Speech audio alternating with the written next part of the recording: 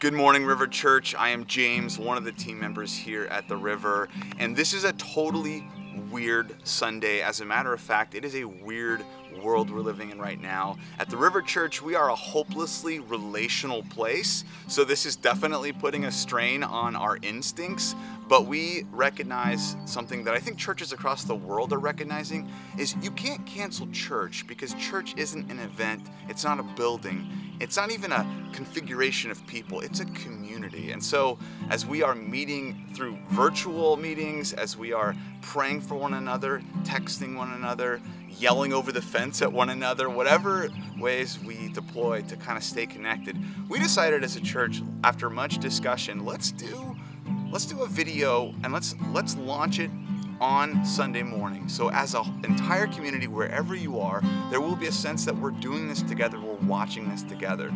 So if you're sitting there right now, hopefully you're in your jam jams, hopefully you're eating some, I don't know, Captain Crunch perhaps, maybe a protein shake for those of you on the healthier sides. Some of you had a long week of hoarding toilet paper. We'd ask you to stop that behavior.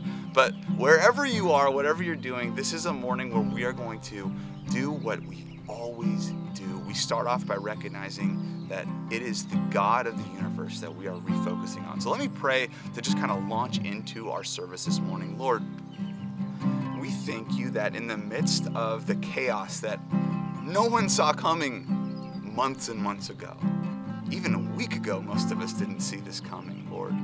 That nothing takes you by surprise. You are as sovereign today as you were last week, as you were a millennia ago. And so we just right now take all of the anxiety, all of the uncertainty, all of the destabilization, and we, we offer it up to you. Thank you so much for this chance to still connect. In the name of Jesus, we pray.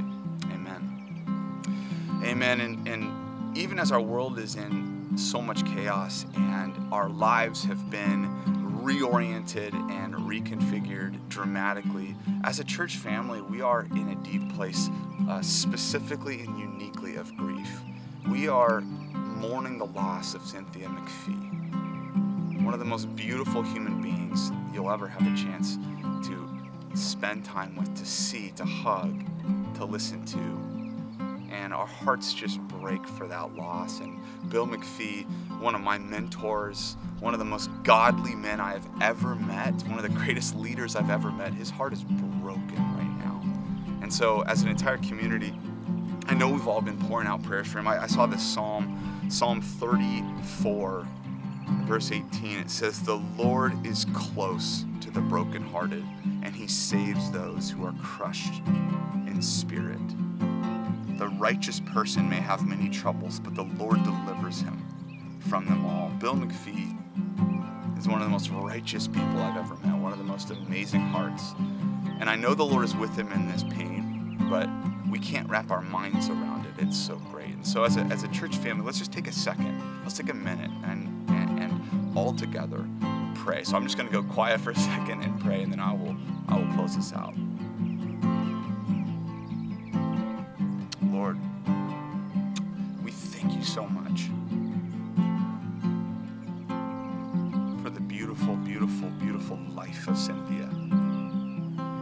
God, we mourn the loss of our sweet sister.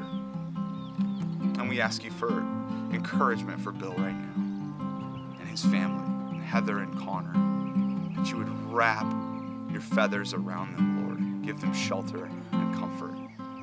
I thank you, Lord God, that you know suffering, you understand it, you are not you are not disconnected from our pain. So oh, Lord, we, we just together as a community wrap our, our hearts around Bill and we ask you, Jesus, to bring comfort and peace and a sense of your abiding presence even in this pain. In the name of Jesus we pray. Amen. Amen. So we're not going to stop praying for Bill, and we are standing with him and his family through this loss. And this morning, as we move into something totally different for the River Church, I'm excited to bring up one of my favorite people, someone who has invested so richly in my kiddos, in my family, and also someone that basically takes anything and makes it a heck of a lot more fun. And so Kathy Plummer, she's six feet away from me, so I'm gonna move six feet and she'll move into this shot. But Kathy, would you come on in here and uh, let's continue this service. Well, I want to give a shout out to the River Kids. Hey guys, I hope you're all in your jammies and you're sitting next to your parents with your pancakes and watching this awesome service. So I know that um, you guys are all bummed that you can't be together. And so we wanted to do like a little vignette every um, Sunday just to kind of like take a peek into how each of you are doing this homestay is what I'm starting to call it because I want to keep away from all the buzzwords. So today um, I have Josh Turnbow here. He's going to represent the Turnbow family and um, the Turnbows have been totally involved with the River Kids. Josh and Kira have their three awesome little tykes that I get to see every weekend. So I just wanted to ask Josh what God's been doing in this time for their family as they've been kind of hanging out at home. Thanks, Kathy. Hey, River Church, it's Josh Turnbow. Um, I just want to take a minute and just share a thought with you. I know um, it's it's a really crazy time, and um, there's a lot of tragedy around us. It's it's sad, and we need to be just seeking God and and praying about that. But also in this time, uh, there's this really unique blessings, and for me, one is that I've never really had an opportunity to kind of in a carefree way stay home with my family. Um, there's always stresses and always a lot of thoughts on my mind and I'm sure our minds, but this is a really weird, unique shut in with the family. I've spent more time with my sons and my daughter than I've really done in years. And um, it's interesting because I can kind of put that on the schedule now. And I, I couldn't really do that before. So, in a, in a strange way, this experience is really bringing me closer with my family. And my wife, of course, uh, gets a lot more time with me, and, and I drive her crazy.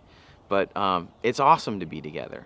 And I didn't expect that in this, this kind of crazy event that's happening. So God's even blessing us in this time of conflict or trouble in the world. And I think we uh, would be wise to just take that time if we have it. And I know I am, and I hope you can too. And uh, I just hope that on this Sunday, you're able to get with the family and really remember what's important and the blessing of family. And, uh, and I hope you don't run out of toilet paper. Josh, thanks. We love um, getting that little peek into the Turnbow family and how you're taking more time with your kids and your wife. Um, now let's just kind of lean in and have a time of worship with Jasmine. Jesus, we thank you for this morning. We thank you for a new day, God, where we get to trust you, where we get to be loved by you. Lord, would you drown all of our fear in your love, in your perfect love for us today?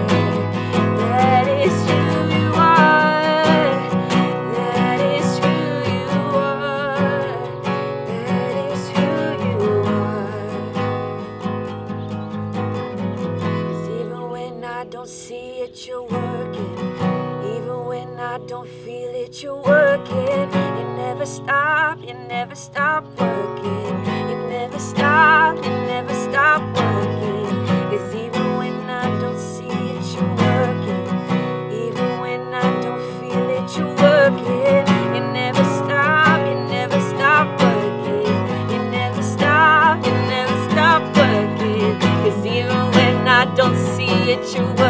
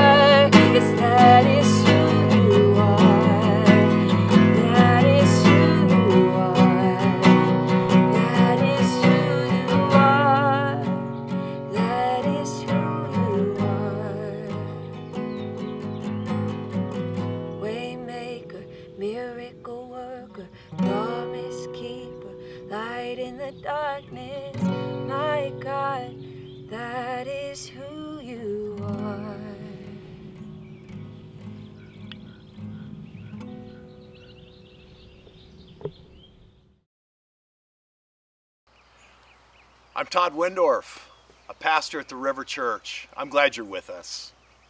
I miss you. I wish we could be together. Uh, but I want to bring God's word to you this morning. But before I do that, I want to, I just want to extend our love and our support to Bill McPhee, one of our pastors. We love you, Bill. Our whole church loves you. Um, you've been a mentor and a friend to me. Um, a partner in ministry, and you've been a beloved pastor of the river.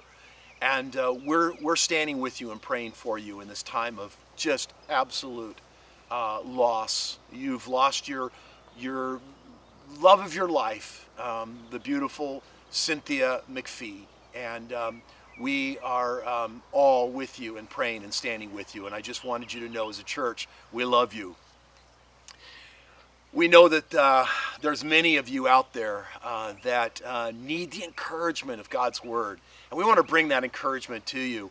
We're going to be looking through uh, the book of Daniel. Uh, Daniel lived in a very turbulent time, an uncertain time, and yet he found his foundation in the Lord. We know we need Daniel's God in a time like this. Daniel says in Daniel chapter 2, verse Verse 20, it says, Let the name of God be blessed forever, for wisdom and power belong to him. You and I need that in a time of uncertainty. It's right now our foundation is being shaken. God may be doing several things in your life. Um, maybe uncluttering your life. Maybe the useless things in your life are being set aside and you're focusing now on the God that remains forever. And this is an opportunity for you to trust the Lord and what He's doing in your life. It's also a window of opportunity. And I want to encourage you as a follower of Christ. This is a window of opportunity. The clouds have been pushed away, the sun is breaking through. And it's a reminder to people that God is still in control and He's sovereign. You play a part in that. So as we jump into Daniel, Daniel chapter 1, we looked at that last week and we've recorded that if you're interested in going back and listening. But we, we discover, first of all, that Daniel draws a line in the sand. And he decides that he is going to honor God's way no matter what. It's, it's the foundation of your faith. It's the foundation of how to make it through uncertain times is following God's ways. That's chapter 1. Well, in chapter 2, the king of Babylon, Nebuchadnezzar, Daniel finds himself in a foreign land, and the king has a troubling dream. It says it right in chapter 2, verse, verse 1. His spirit was troubled, and his sleep left him. The whole land was in confusion. Sounds like this, the moment we're living in right now. Uh, there's a lot of troubling dreams, um, broken dreams, Dreams that have been decimated by what we're experiencing by this virus that is literally spreading across the globe. I mean, school has been canceled. Graduation is questioned whether it's going to happen or not. Um, travel has been postponed. Um, we question whether whether whether our retirement's going to be there for us. Um, people are losing their jobs over this. Uh, weddings have been postponed. I mean, we're hearing every day about broken and crushed and troubling dreams. And what we learn in Daniel chapter 2 is Daniel steps in and gives the interpretation of this, these crushed dreams. See, crushed dreams bring new perspective. They bring new perspective for us and they, they bring new perspective for other people.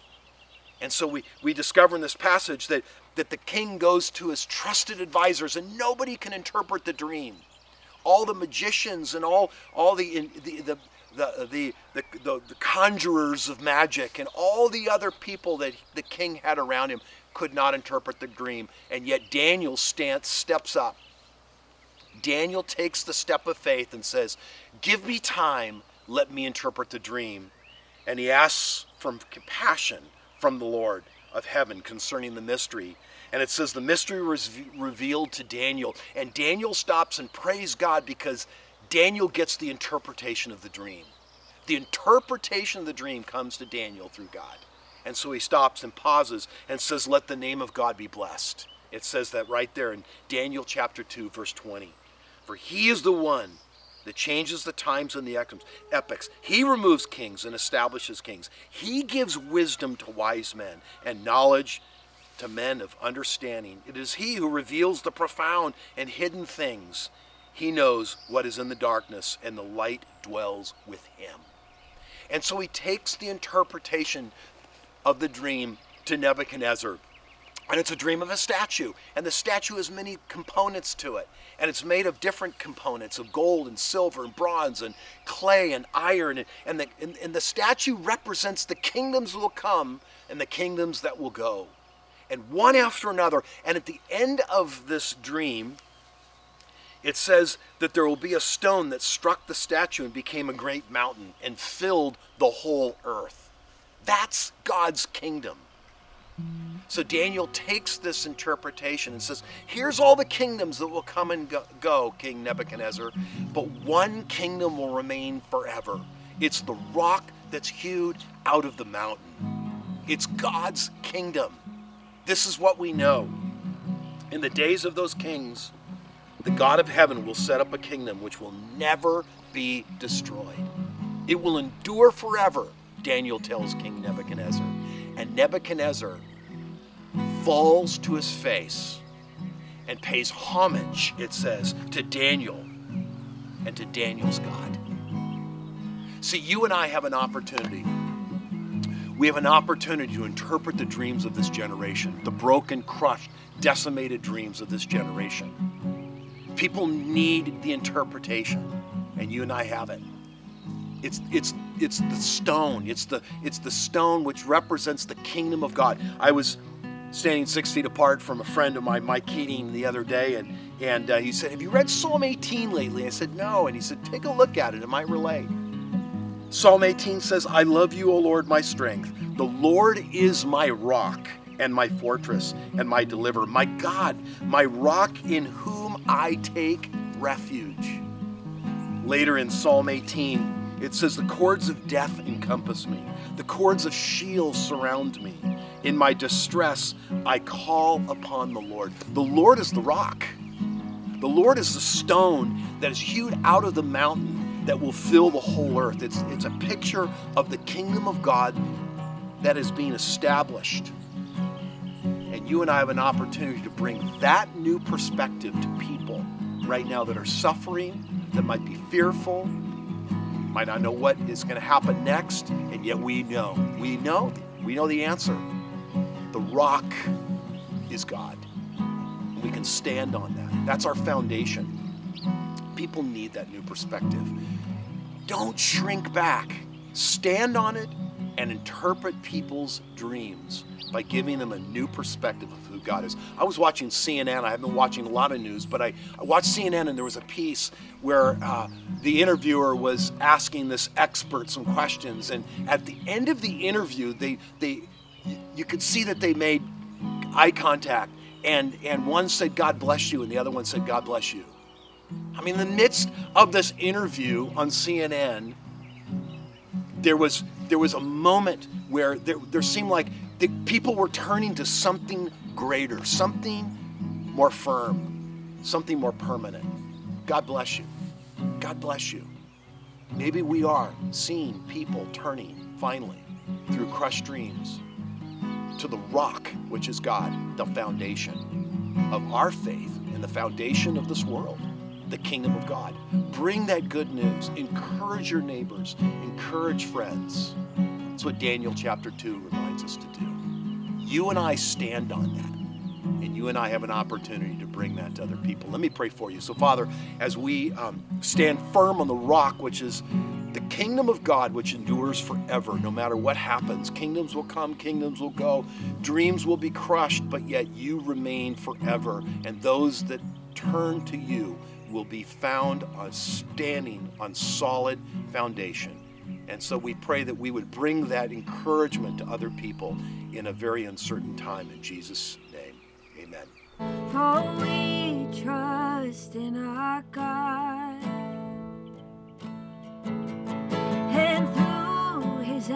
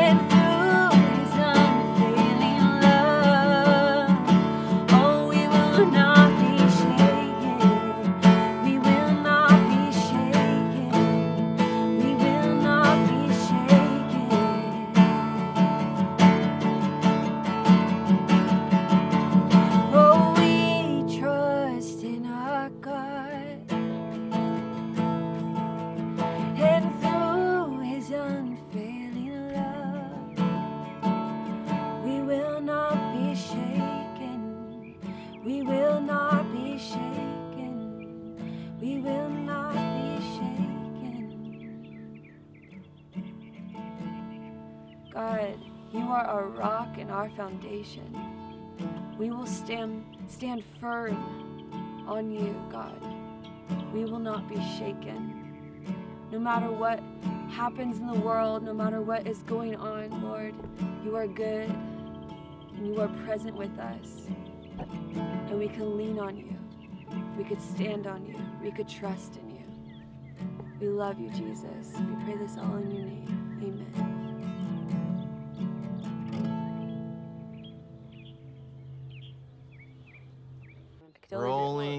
And Mark.